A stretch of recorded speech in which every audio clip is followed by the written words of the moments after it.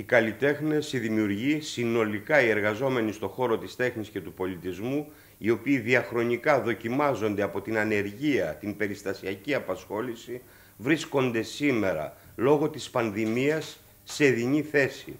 Μουσικές και θεατρικές σκηνές, συναυλίες, θέατρα, κινηματογράφοι, μουσεία, φεστιβάλ και τόσα άλλα ανέστηλαν τη λειτουργία τους, αφήνοντας όλους αυτούς τους ανθρώπους στον αέρα, χωρίς καν το επίδομα των 800 ευρώ για την μεγάλη πλειοψηφία τους.